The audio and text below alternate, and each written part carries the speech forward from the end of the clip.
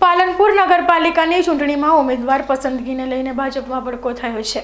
Ticket ના મળતા ભાજપ અગ્રણીઓએ આમ આદમી પાર્ટીની અને કોંગ્રેસમાંથી ઉમેદવારી કરતા હલચલ મચી જવા પામી છે. પાલનપુર નગરપાલિકાની ટિકિટ ફાળવવામાં વંશવાદ અને આયાતી ઉમેદવારોને પ્રોત્સાહન અપાયું છે.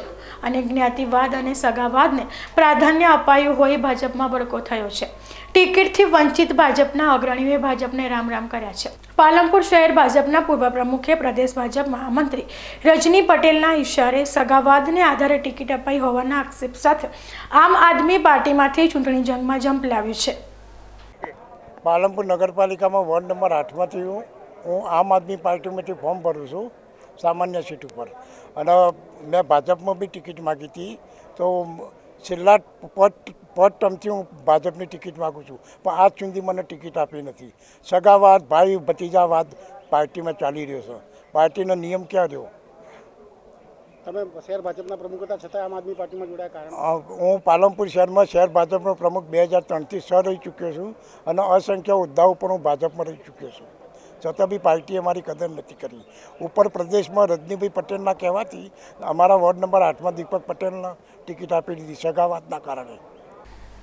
જ્યારે પાલનપુર નગરપાલિકાના સ્ટ્રીટ લાઇટ કમિટીના પૂર્વ ચેરમેન ભારતીબેન ઠાકોર અને તેમના પતિ પૂર્વ નગરસેવક ભરત ઠાકોરે પણ ભાજપમાં સગાવાદ ચાલતો હોવાના આક્ષેપ કરી આમ આદમી પાર્ટીમાંથી ઉમેદવારી કરી છે.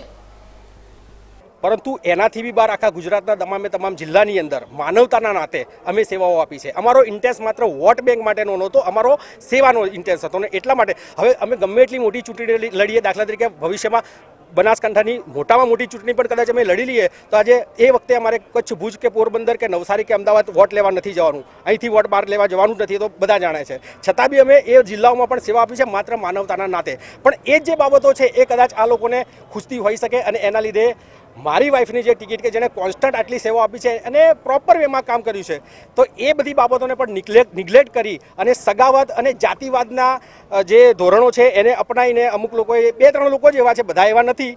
અને ઠીક છે, હવે દેખો, બધા એક જેવા હોત તો આ દુનિયાની અંદર દુનિયા આખી સુખી હોત. પણ હવે આપણે તો શું કરી શકીએ?